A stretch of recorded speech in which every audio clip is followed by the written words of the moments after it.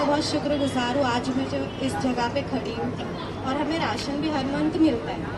मैं मेरे ही घर में एक लड़की हूँ जो मतलब अपना घर चलाती हूँ और उस वजह से मैं एक जगह बैठी थी और इस टैबलेट से मुझे इतना मतलब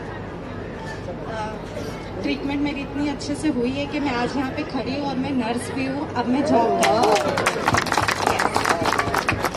तो आप लोग का बहुत शुक्रगुजार है कि आज मैं इस जगह पे खड़ी हूँ। बेटा, शुक्रगुजार नहीं, आपका अधिकार है। आपको आपका अधिकार मिला।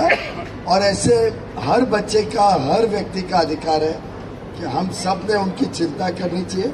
बहुत आनंद आया आपको मिलके और आप एकदम स्वस्थ रहिए। आपको लंबी आयु दे भगवान ईश्वर।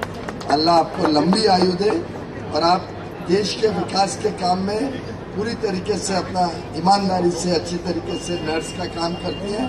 बहुत बड़ा पुण्य का काम है। हमारी नर्सेज बहुत बहुत बड़ा पुण्य कमाती हैं। आखिर जब कोई तकलीफ़ में हो, किसको कोई स्वास्थ्य की चिंता हो, तकलीफ़ हो तो सबसे बड़ा काम डॉक्टर और नर्स करते हैं। कोविड में तो बिना अपने जान की चिंता करे डॉक्टर्स और नर्सेज ने पूरी तरीके से दो साल जनता की सेवा की।